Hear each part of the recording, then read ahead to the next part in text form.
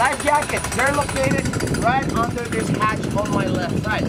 Now, if the water comes up to your toes, you know what to do. Please run as quick as you can and help me save the cooler that we have down the bar. We'll worry about life jackets right afterwards, all right? The net area, guys, it's very, very comfortable, but there's three things to know about it. First, no more than six people by the net. Number two, it's not a trampoline. Please do not jump in the net. And number are sitting on this area, take in mind that sometimes water can filter from underneath it. So if you have a cell phone that's sitting by the net or a camera, be careful with those objects that can get damaged with the water.